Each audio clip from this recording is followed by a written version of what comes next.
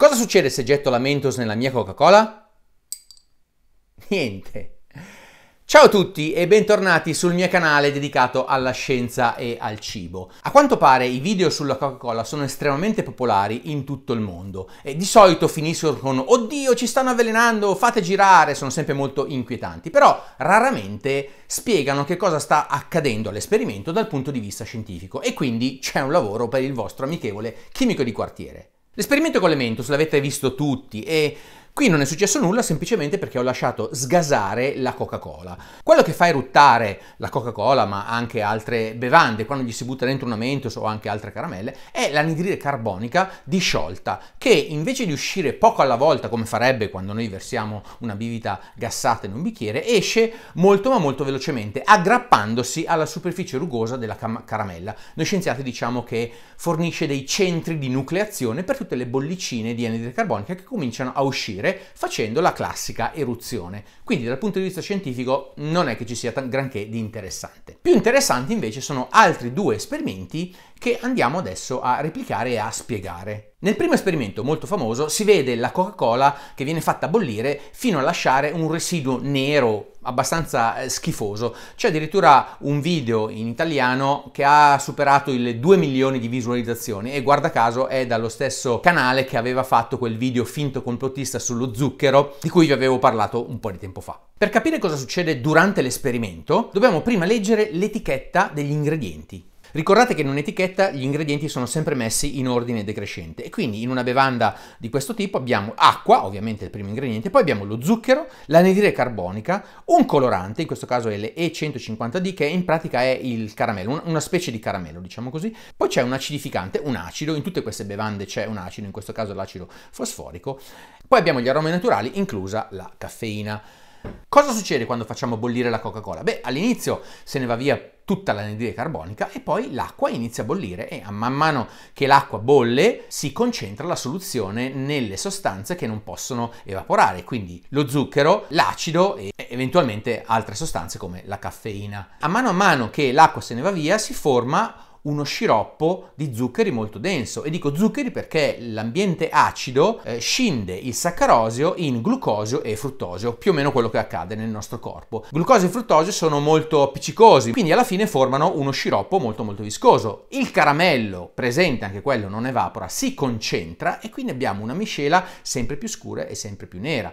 Però non c'è niente di spaventoso o niente di terrificante, è semplicemente uno sciroppo molto molto concentrato. A un certo punto, quando l'acqua è andata via tutta, comincia a formarsi anche del caramello, come faremmo quando prepariamo un croccante. Solo che non riusciamo a vedere il cambiamento di colore perché fin dall'inizio la miscela è già nera dal caramello che è stato aggiunto in produzione. Quindi non c'è nulla di particolarmente schifoso. Questo è quello che è rimasto dalla Coca-Cola. Possiamo vedere lo stesso esperimento per capire meglio cosa sta succedendo prendendo una bevanda che invece non è stata colorata, per esempio la gassosa o, come dicevo io e i miei amici quando ero bambino, la gazzosa. Gli ingredienti dal punto di vista chimico sono analoghi a quelli che abbiamo visto prima. Al primo posto abbiamo l'acqua, poi abbiamo lo zucchero, l'anidride carbonica e come acidificante in questo caso l'acido citrico. Poi abbiamo eh, degli aromi. Quindi andiamo a vedere cosa succede se faccio bollire la gassosa. A mano a mano che concentriamo lo zucchero, l'acqua evapora, il sistema diventa sempre più viscoso, abbiamo uno sciroppo molto molto denso. Vedete che quando passo la spatola lascia il segno perché l'acqua ormai è quasi tutta evaporata. Non ci fa impressione perché non è nero, perché non è stato aggiunto il colorante, cioè il caramello,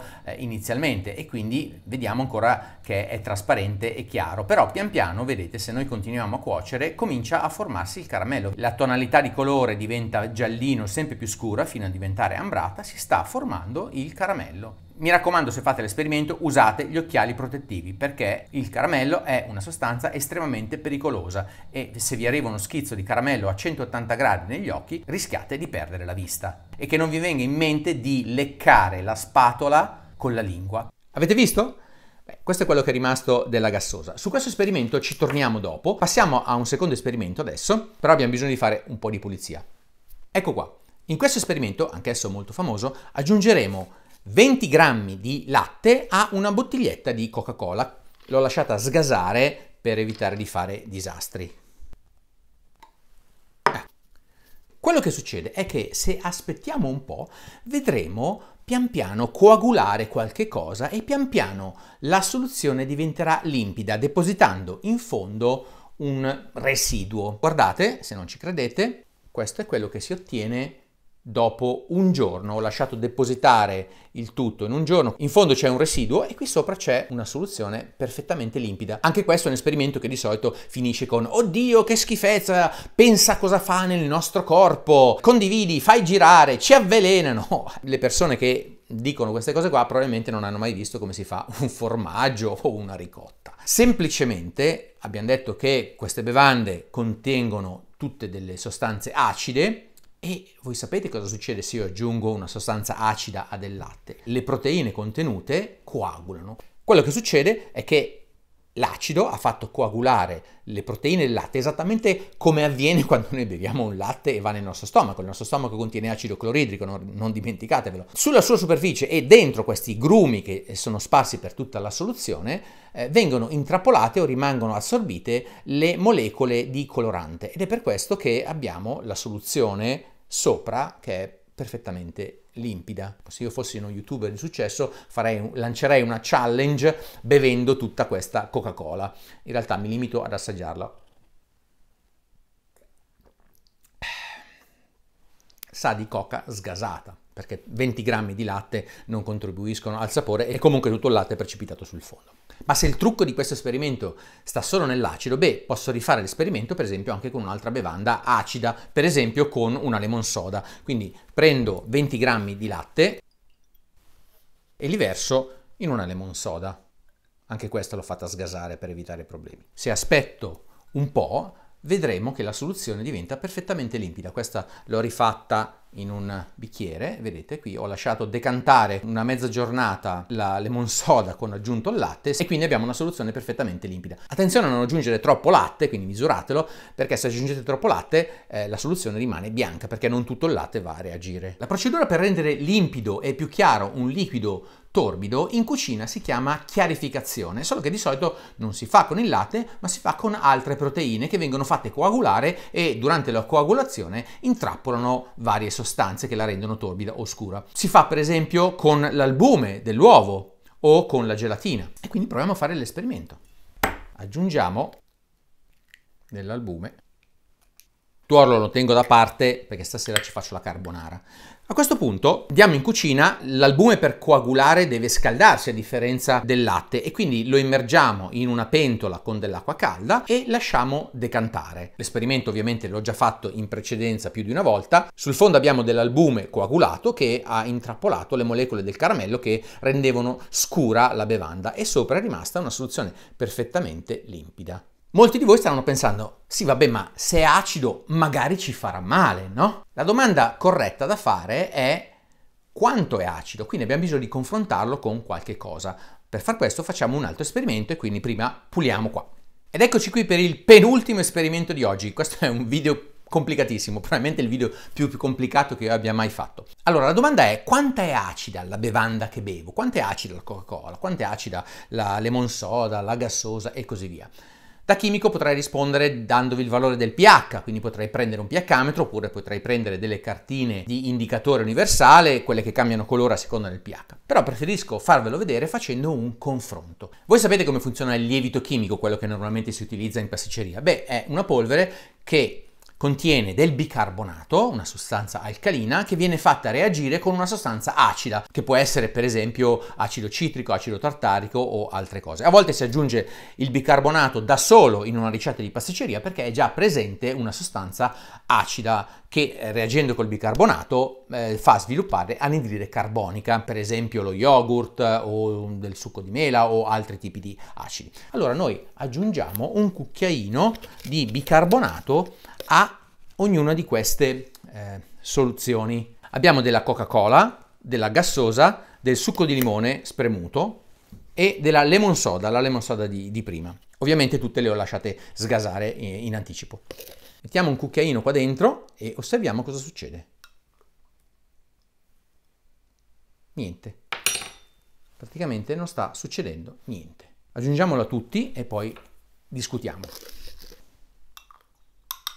e anche qui succede praticamente nulla. Aggiungiamo adesso un cucchiaino al succo di limone Oh, vedete? Il succo di limone, l'acido citrico contenuto, sta reagendo con eh, il bicarbonato e sta sviluppando anidride carbonica. Aggiungiamo allora la lemon soda, sempre ci interessa solamente il comportamento qualitativo, non andiamo a fare delle, delle misure. Oddio! Vabbè. Vabbè, lì sta facendo il disastro. Aggiungiamolo nella lemon soda e vediamo che anche qui reagisce un pochettino.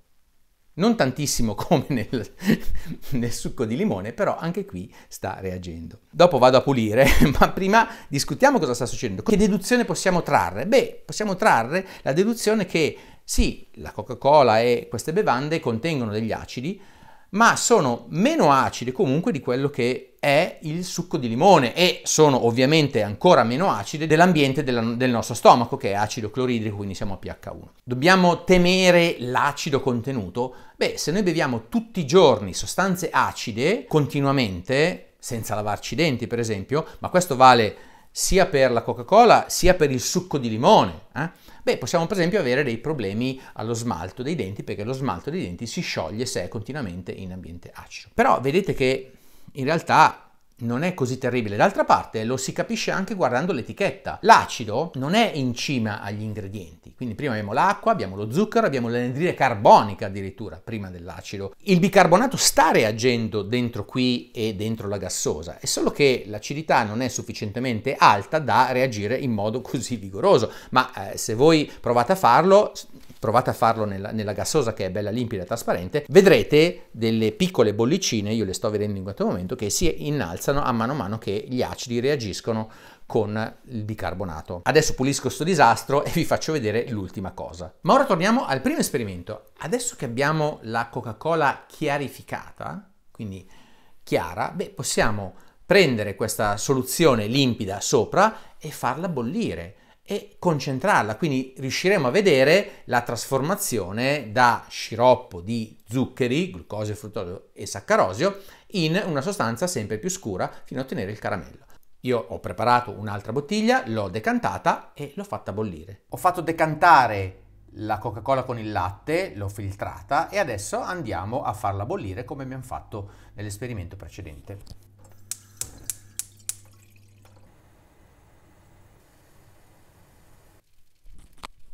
Ecco, come prima l'acqua se n'è andata via praticamente tutta, è rimasto solamente l'acido, il glucosio, il fruttosio e un po' il saccarosio e vedete che pian piano che aumentiamo la temperatura lo sciroppo diventa sempre più ambrato, sempre più scuro perché si sta formando il caramello. Questo è quello che rimane dalla nostra Coca-Cola chiarificata eh, chiaramente non è esat- solamente caramello perché come dicevo c'è presente anche dell'acido e poi le sostanze che sono rimaste dal latte che ho aggiunto. Fa molta meno impressione che non vedere quella massa nera perché era nera colorata dal, dal caramello aggiunto nella Coca-Cola per colorarla. Se noi proseguissimo, ho visto qualche youtuber che non si è fermato e si è dimenticato di spegnere il fuoco, quindi a un certo punto tutta l'acqua è evaporata, la temperatura ha superato i 180 gradi, anche il caramello ha iniziato a decomporsi, diventa tutto nero e sostanzialmente abbiamo una carbonizzazione totale. Vedete come è diventato scuro? Se continuo così brucerà del tutto e, e farò un sacco di puzza in casa mia. Ed ecco la mia Coca-Cola chiarificata, concentrata e fatta caramellizzare. Yeah, sa di caramello ma è acida perché è rimasto dentro anche dell'acido. Quindi tutti questi esperimenti che dovrebbero eh, diciamo, metterci paura, in realtà si possono benissimo spiegare dal punto di vista scientifico. Attenzione però, questo lo devo dire perché c'è sempre qualcuno che interpreta ad minchiam i, i miei video. Il fatto che io abbia dimostrato che non c'è niente di particolarmente così disgustoso o pericoloso in quelle bevande, significa che possiamo berne a volontà, che possiamo sfondarci? No, no e no. Il vero motivo per cui noi non dobbiamo eccedere ed esagerare con queste bevande e altre, che sia Coca-Cola, Pepsi, eh, lemon soda, gassosa, quello che volete, pure bio, eco, naturale, eh, è questo. È lo zucchero contenuto. E c'è scritto sull'etichetta. Non c'è niente che le multinazionali vogliono tenere nascoste. È scritto in etichetta. Una bevanda da mezzo litro contiene circa 50 grammi di zucchero e questi sono 50 grammi di zucchero. 50 grammi di zucchero sono equivalenti a 1, 2, 3, 4, 5, 6, 7, 8, 9, 10, 11 bustine di zucchero. Adesso vi faccio vedere quanti sono 50 grammi di zucchero dentro la bottiglietta. Quindi ogni volta che voi vi bevete una bottiglia da mezzo litro, vi bevete 50 grammi di zucchero. Attenzione, perché questo vale anche per i succhi di frutta, i frullati e tutto il resto di bevande dolci. Quindi se vi bevete una Coca-Cola ogni tanto, ma non c'è niente da temere. Se vi bevete ogni giorno un litro eh, di queste bevande, c'è un problema, ma non tanto per qualche ingrediente particolarmente dannoso nella Coca-Cola, ma perché contiene un sacco di zucchero, così come contengono un sacco di zuccheri i succhi di frutta che vengono dati ai bambini con l'idea che, ah, siccome è frutta fa bene, dategli la frutta, non dategli i succhi di frutta che molto spesso sono ulteriormente zuccherati. Un giorno faccio un video in cui vado al supermercato e vi faccio vedere tutto il contenuto di zuccheri di vari prodotti e varie bevande. Nel frattempo guardate che qui si stanno chiarificando le due bevande, vedete che la reazione è molto veloce. Per oggi vi saluto, vedete che i miei video sono piuttosto complicati, quindi non riesco a farne tanti, però se tra un video e l'altro avete voglia di vedere degli altri video di divulgazione scientifica, vi ricordo il canale di Roberta Villa dove parla di medicina, il canale di Beatrice Mautino dove parla di cosmetica con gli occhi della scienza e il canale di Silvia Cuna Ballero dove fa ogni settimana un riassunto delle notizie scientifiche della settimana. Per oggi il vostro amichevole chimico di quartiere vi saluta. Ciao!